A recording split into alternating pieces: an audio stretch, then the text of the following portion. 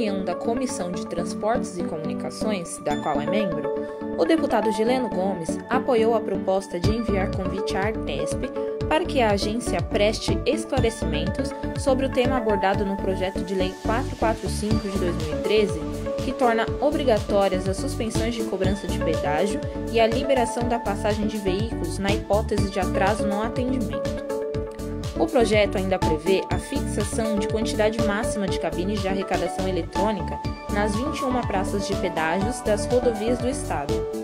Para o deputado, o valor cobrado nos pedágios é alto, mas o serviço oferecido é de má qualidade. Senhor presidente, eu acho que essa questão é muito importante e a gente tem que estar cobrando mesmo, porque a gente que passa por algumas rodovias aí cobrando o Estado, rodovias que pedágio caro, e a manutenção a gente vê que é de mal qualidade em alguns trechos.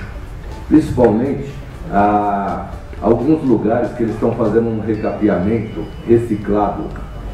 Tem lugar que eles põem a. faz o recapeamento, daí uma, menos de uma semana está soltando, destacando, causando um grande risco e perigo para o usuário das rodovias. Então são questões que a gente tem que cobrar mesmo essas concessionárias, os pedágios não são baratos. E tem rodovia aí que a quantidade de pedágio, infelizmente, é muito bom, muito grande.